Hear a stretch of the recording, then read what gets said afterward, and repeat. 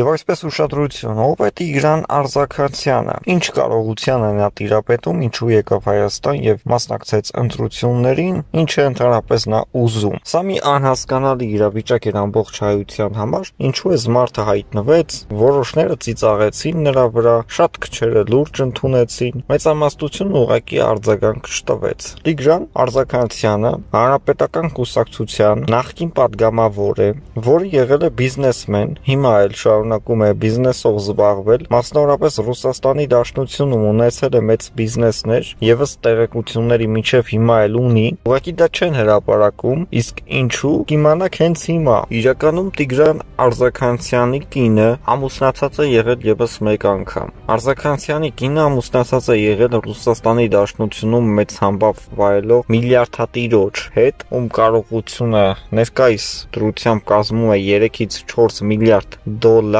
եւ Արզականցյանի կինը ամուսնալուծվել է իր նախկին ամուսնուց եւ միացել Արզականցյանի հետ ամուսնալուծման օրենքների պահանջով նաեւ կնոջն են անցել միլիոնավոր դոլարներ, որոնք ըստ էության նաեւ անցան Տիգրան Արզականցյանին։ Իսկ Ռուսաստանի Դաշնությունում ինչու չի խոսվում նրա բիզնեսների մասին, այն պատճառով, որ Արզականցյանի ներկայիս կնոջ նախկին ամուսինը վրեժ լուծելու նպատակներով նրա բիզնեսներին դոտ չհանդիսանա։ Մի խոսքով անձնական կյանքում նմանատիպ իրավիճակներ հարուստից բաժանվել, միանալ հարուստի, ավելի հարստանալ, գալ Հայաստան անիմաստ ինչ որ ընտրությունների մասնակցել, երբ դու եղել ես նախկինում հանրապետական կուսակցության падգամավոր, Հայաստանում չես բնակվել վերջին 5 տարիների, ուղղակի եկել ես ինչ որ մարդկանց խնդրանքով փող ես ծախսել ու չես ընտրվել։ Ինչպես ասում են, նաև Արզականցյանը մերժել է ինչ-որ մարդկանց ընտրությունների ժամանակ փող վճարել իրենց աշխատանքը կատարելու համար։ Արզականցյանը տիրապետում է մեծ ունեցվածքի, ունի բիզնեսներ Ֆրանսիայում, ունի տներ Հայաստանի Հանրապետությունում եւ ունի մեծ ամառանոց Սևանի ափին, ունի տներ Ֆրանսիայում, Ռուսաստանի Դաշնությունում, մի շարք այլ երկրներում եւ ասում է, որ ինքը ունի միլիարդատերեր, ծանոթներ, ընկերներ եւ մտածում է, որ նրանց կարող է բերել Հայաստան, որպիսի ներդրումներ անեն։ Այս առումով Տիգրան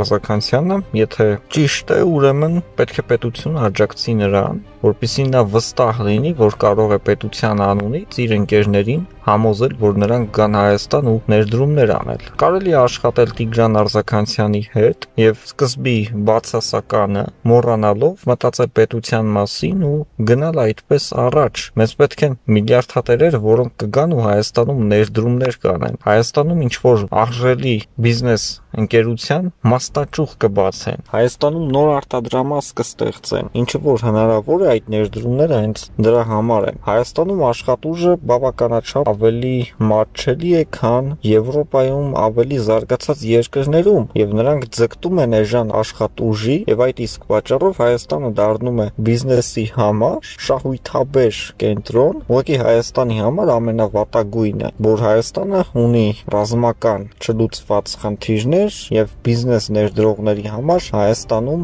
անվտանգության դաշտը հուսալի չէ, այդ իսկ պատճառով նրանք չեն գալիս եւ ներդրումներ չեն անում։ Պետք է համոզել, որ ոչինչ չի լինի նրանց բիզնեսների հետ Ես երբեք չեմ լսել խոսք հազարավոր սպանված հայերի մասին։ Նման խոսակցություններ չեն եղել։ Լապշինի մեկնաբանությունը։ Ճանապարհորդ բլոգեր Ալեքսանդր Լապշինը պատասխանել է Նաիրի Հուղիկյանի գրառմանն ու հայտնել, որ չի հասկանում, թե ինչու է իր անունը շոշափվում խոսակցությունների մեջ, որոնց ինքը ներկա չի եղել։ Նման հայտարարություններ չի լսել ու տեղյակ չէ, ինչի մասին է խոսքը։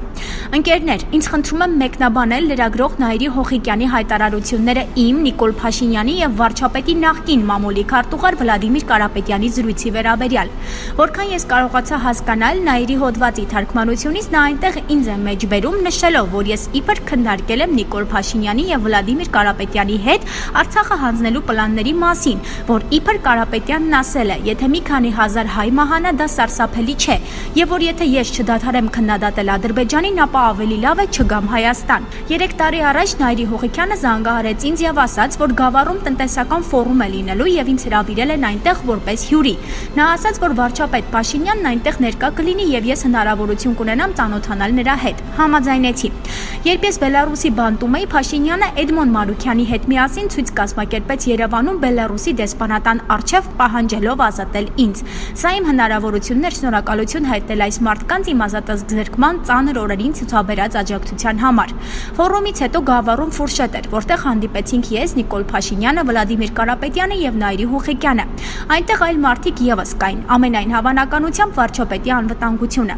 Այս հանդիպման ընթացքում ես խոսեցի Նիկոլ Փաշինյանի հետ այն մասին, թե ինչ է ինձ հետ պատահել Ադրբեջանում Արցախ կատարած իմ այցի պատճառով Ալիևի ռեժիմի դատական հայցի մասին։ Նիկոլն արտահայտեց իր ափսոսանքը եւ նշեց, որ եթե ինչ որ բանով կարող է օգտակար լինել, ապա ես ցանկացած պահի կարող եմ դիմել իրեն։ Վլադիմիր Կարապետյանը կանգնած էր մոտակայքում եւ զրույցի ընթացքում ասաց, որ Հայաստանն իր պատմության դժվարին ժամանակաշրջանն է ապրում, սեղմված է եւ Արցախում զիջումներն անխուսափելի են եւ շրջապակումից եւ տնտեսական ճգնաժամից դուրս գալու համար։ Նա նաեւ ասաց, որ երկրի տնտեսության բնականon գործունեության եւ շրջապակումից ու ճգնաժամից դուրս գալու համար անհրաժեշտ է բանակցություններ վարել հարևանների հետ։ Հետո ավելացրեց, որ առաջիկա տարիներին իրավիճակը կարող է փոխվել եւ ես պետք է հետևեմ, թե ինչ է կատարվում տարածաշրջանում, որպեսզի մնամ թրենդի տրենդի մեջ։ Վերջ, ուրիշ ոչինչ չկա։ Մնացած ամենը, ինչ գրված է Նայիրի Հուխիկյանի հոդվածում, ինձ համար դժվար է մեկնաբանել, քանի որ նման խոսակցություններ ինձ հետ չեն եղել։ Ես երբեք չեմ լսել մեջբերում հազարավոր սպանված հայերի մասին։ Ոչ Նիկոլ Փաշինյանը, ոչ էլ Վլադիմիր Կարապետյանը այդ մասին չեն հայտարարել ինձ հետ հանդիպմանը։ Ոչ ոք ինձ չի ասել, որ եթե ես չդադարեցնեմ քննադատել Ադրբեջանին, ապա պետք է այլևս չգամ Հայաստան։ Ընթակառակը, ինչպես վերը նշեցի, Փաշինյանը ինձ ասաց, որ ես կարող եմ դիմել, եթե ինչ որ կերպ կարող եմ օգտակար լինել։ Եվ եթե անկեղծ լինենք, ով եմ ես, որ պետության ղեկավարը, ճանապարհորդական բլոգերի հետ կքննարկի հազարավոր սպանված հայերի հարցը։ Բնականաբար 2020-ի պատերազմից հետո մենք բոլորս մտածում էինք Արցախի կորուստը նախապես պլանավորած էր թե ոչ։ Իհարկե ես մտածում էի, արդյոք սա նկատի ուներ պետության ղեկավարը եւ խոսք եղավ Արցախում ճգնաժամը հաղթահարելու եւ հարկադրված զիջումները հաղթահարելու անհրաժեշտության մասին, թե ոչ։ Ես չգիտեմ։ Համենայն դեպս տեղի ունեցավ աղետ եւ դա ինձ ցավ է պատճառում, ինչպես Հայաստանի ամբողջ ժողովրդին։ Բոլորն էլ հասկանում էին, որ ինչ որ պահի Արցախում հակամարտությունը ինչ որ կերպ լուծվելու է եւ որոշ հողեր պետք է հանձնվեն Բաքվին, բայց նման գնով դա անելը իհարկե ողբերգություն է։ Բնականաբար պատերազմի ընթացքում ես չգիտեի եւ չէի կարող իմանալ, թե ինչ է լինելու Շուշիի հետ։ Նայրին գրում է. ես դեռ հոկտեմբերին իրեն ասել եմ, թե Շուշին կհանձնվի, հետո պատերազմը կավարտվի։ Մեր մեջ երբեք նման խոսակցություն չի եղել։ Համոզված էի, որ Հայաստանը կդիմանա այդ փորձությանը եւ մինչեւ վերջ հավատում հավատում էի դրան, չնայած նրան շատ հայ վերլուծաբաններ ասում էին. ամեն ինչ արդեն որոշված է, նրանք կհանձնեն Արցախը։ Ես հարգում եմ Նայիրի Հոխիկյանին, նա լավ լրագրող է եւ մեծ հայրենասեր։ Ինձ համար անհասկանալի է, թե ինչպես է նա առաջնորդվել, երբ հրակարակվել է այս հոդվածը։ Այնտեղ նշելով իմ անունն ու խոսակցություններ, որոնց ես երբեք չեմ մասնակցել։ Այն ամենը, ինչ եղել է մեր հանդիպման ժամանակ, ես գրեցի վերևում։ Չեմ կարող պատասխանատվություն կրել Նայիրի այլ հայտարարությունների եւ դատողությունների համար։